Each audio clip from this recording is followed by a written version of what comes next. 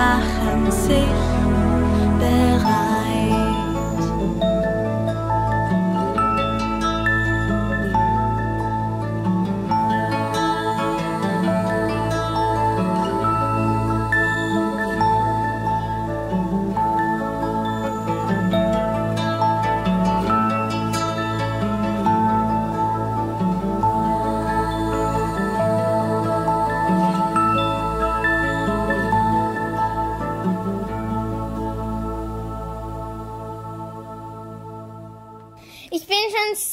aufgeregt. Nur noch dreimal schlafen und dann ist endlich Weihnachten. Ja, ich freue mich auch schon sehr darauf. Wo gehört der Teil bloß hin? Ich sehe schon alles ganz genau vor mir. Die Kerzen brennen am Christbaum und man singt Weihnachtslieder und überall Geschenke. Verflixt und zugenäht. Irgendwo muss der Zacken durchpassen. Und es duftet nach Weihrauch. Helft mir jetzt lieber den Stern fertig zu basteln. Ich bin schon so aufgeregt. Bald ist Weihnachten. Genau, es dauert nicht mehr lange. Wenn das stille Nacht erklingt, wollen wir uns beschenken. Wollen wir an das Jesuskind in der Krippe denken. Bald ist Weihnachten eine ganz besondere Zeit.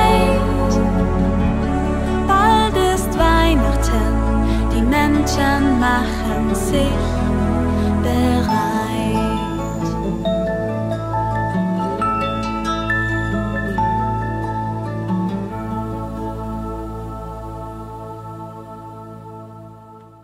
So, fertig. Wie schaut er aus? Wunderschön.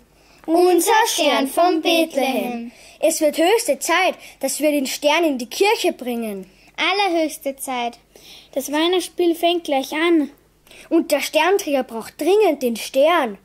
Wie sollen denn sonst die drei Könige das Jesuskind finden? Also los, ab in die Kirche.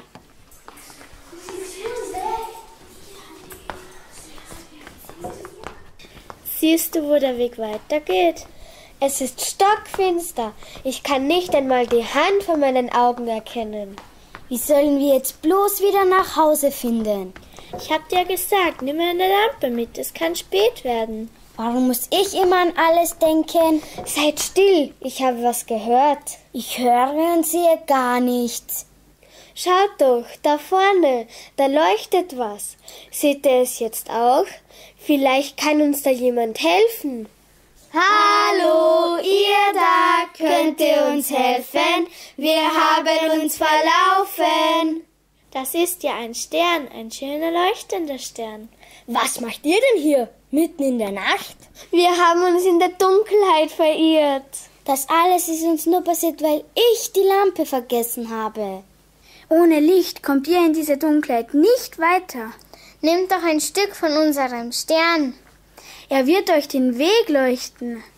Was? Du kannst doch nicht einfach unseren Stern verschenken. Es ist doch nur ein kleines Stückchen, damit Sie den Weg finden. Na gut, meinetwegen, aber nur ein ganz, ganz kleines Stückchen. Danke, ihr seid unsere Rettung. Der leuchtet hervorragend. Damit finden wir bestimmt den Weg nach Hause. Danke, Nolz.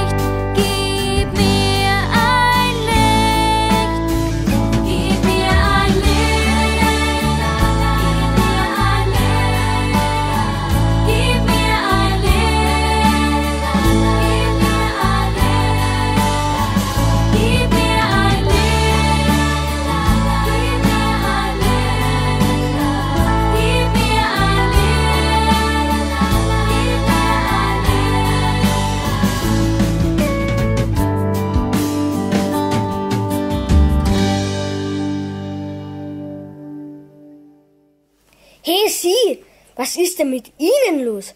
Geht es Ihnen nicht gut? Was haben Sie denn? Ach, nichts. Aber so wie Sie den Kopf hängen lassen. Könnte man meinen, es hat sieben Tage lang geregnet.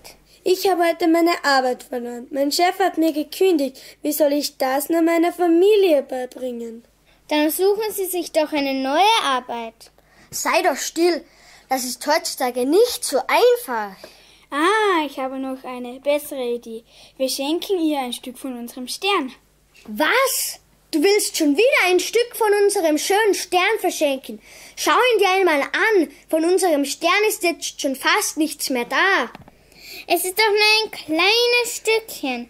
Das gibt dir bestimmt wieder Hoffnung. Das ist jetzt aber wirklich das letzte Mal. Wir haben ja nichts zu verschenken, sonst kommen wir ja noch ohne Stern zum Weihnachtsspiel in die Kirche. Danke, dass ihr mir zugehört habt. Euer Stern wird mich erinnern, dass ich nicht aufgeben soll. Schon gut. Jetzt müssen wir aber schnell weiter. Unsere Mitschüler warten schon auf den Stern für das Weihnachtsspiel. Danke und alles Gute für euch.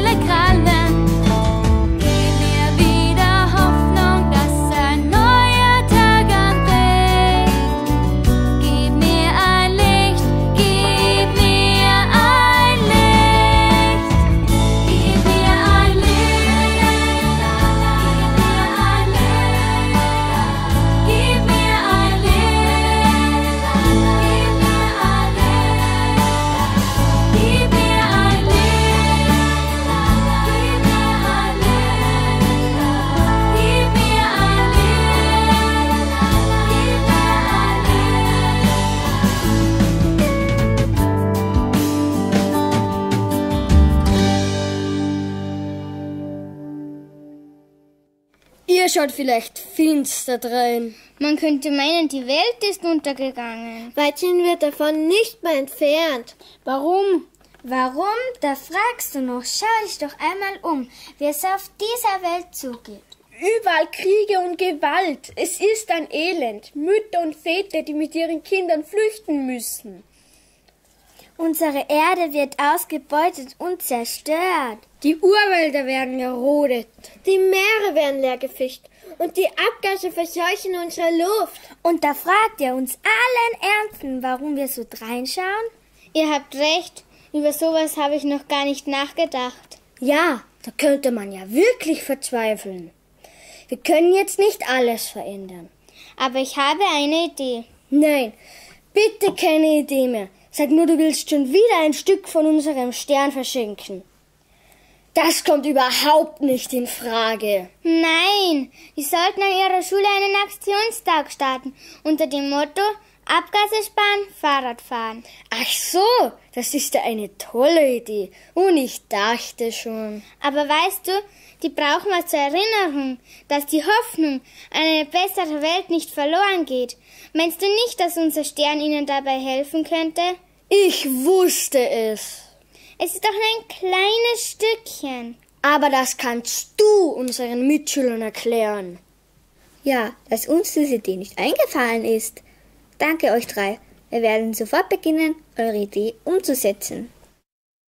Wir laden euch dann zu unserem Aktionstag ein. Aber denkt daran, kommt nur mit dem Fahrrad. Danke, dass ihr uns ein Stück eures Sterns geschenkt habt. Er wird uns daran erinnern, dass man etwas tun muss, wenn man die Welt verändern will. Da gehen sie dahin. Schaut ihn euch an. So einen erbärmlichen Stern von Bethlehem habe ich noch nie gesehen. Jetzt jammere nicht andauernd. Auweia! Wir sind schon viel zu spät. Das Weihnachtsspiel in der Kirche hat schon begonnen. Und das ohne den Stern von Bethlehem.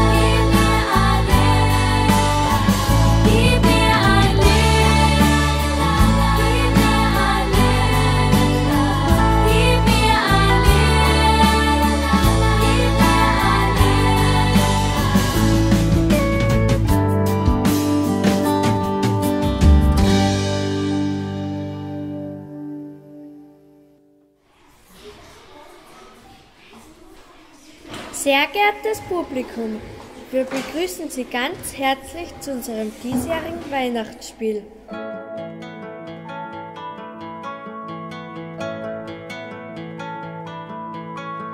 Was hat sich Maria gedacht, als mitten in der finsteren Nacht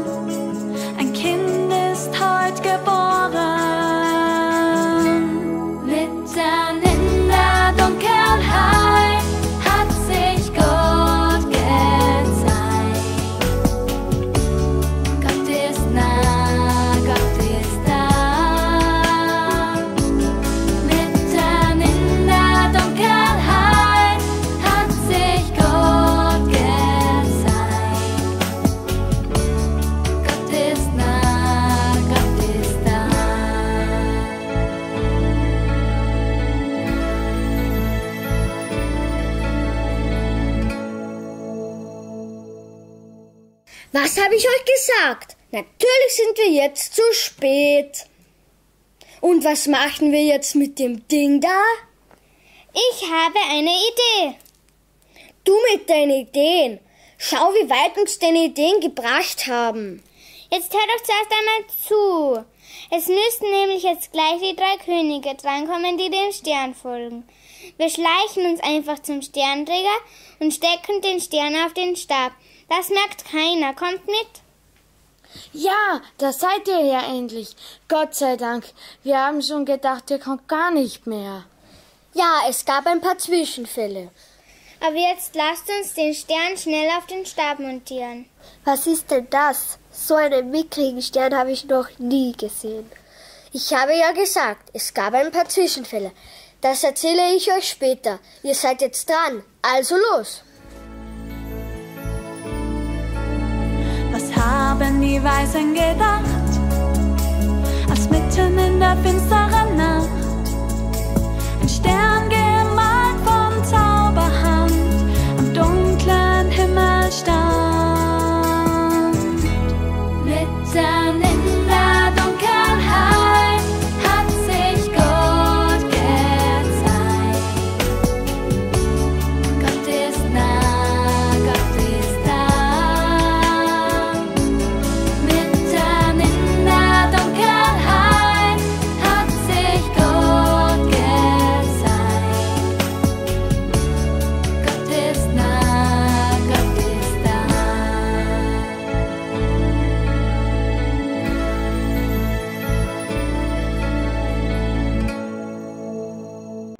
Habt ihr gehört, was sie gesungen haben? Ja, mitten in der Dunkelheit hat sich Gott gezeigt. Genau. Und wisst ihr, was das heißt? Was denn?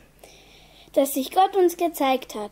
Mitten in der Nacht ist das kleine Jesuskind geboren und hat Licht in unsere Welt gebracht. Ein Licht, heller als jeder Stern. Dann ist ja unser Stern gar nicht das Wichtigste, weil der kleine Jesus leuchtet ja sowieso. Ganz genau. Habt ihr unseren armseligen Stern von Bethlehem überhaupt schon gesehen?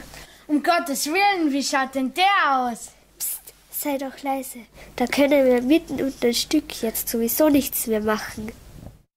Wir haben ein Stück vom Stern. Er hat uns den Weg nach Hause geleuchtet. Jetzt brauchen wir ihn nicht mehr. Und mir hat er Mut gemacht, dass ich nicht aufgeben darf. Jetzt brauche ich ihn nicht mehr. Und uns hat er gezeigt, dass man was tun muss, wenn man die Welt verändern will. Jetzt brauchen wir ihn nicht mehr.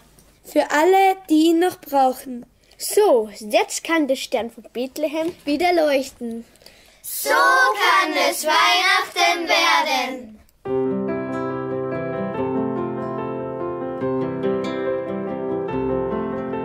Die Hirten besuchen das Jesu-Kind und wem besuchst du? Der Ochs und der Esel in der Krippe singt, für wen singst du? Das Stroh hält das Jesus-Kindlein warm und wen wärmst du? Maria hält ihr Kind im Arm und wen hältst du? So könnte es Weihnachten werden, Weihnachten auf Erden. Keiner müsste mehr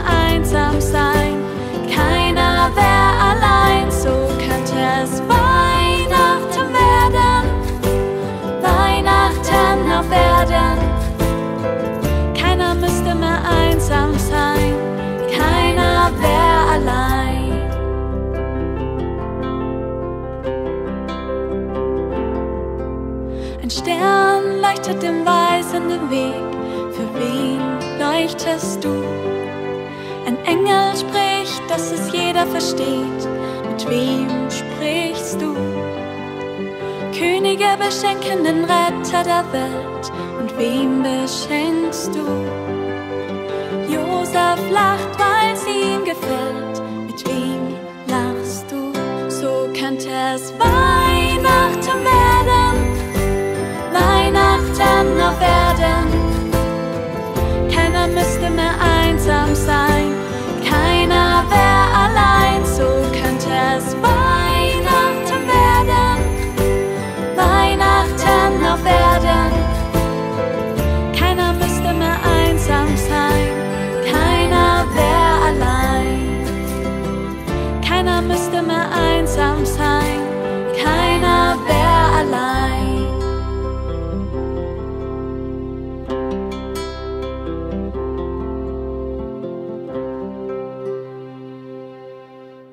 Ja, wenn wir füreinander da sind und aufeinander schauen, dann könnte es wahr werden, dann kann es Weihnachten werden.